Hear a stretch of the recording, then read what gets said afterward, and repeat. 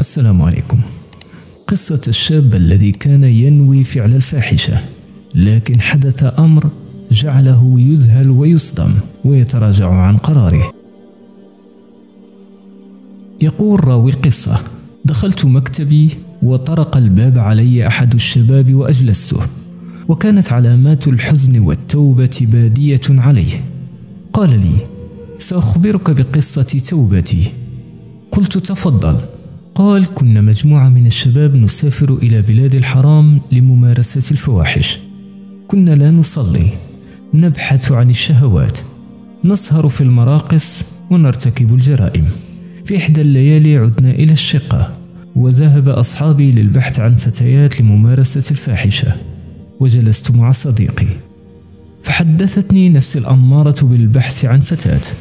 فخرجت وطرقت باب إحدى الشقق.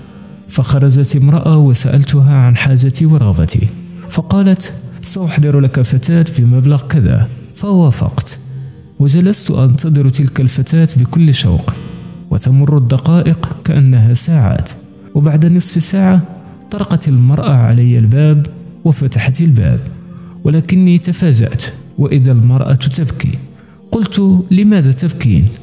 قالت أحد الساكنين في الدور العلوي مات قبل دقائق. حينها توقفت وتأملت وأصابني أمر غريب. أغلقت الباب جلست لوحدي واستيقظ الإيمان في قلبي. وعاتبت نفسي لو أن ملك الموت قبض روحي بدل ذلك الرجل. دمعت عيني وتقطع قلبي على تلك الذنوب وعدت تائبا نادما. وأرجو من الله أن يقبلني في التائبين.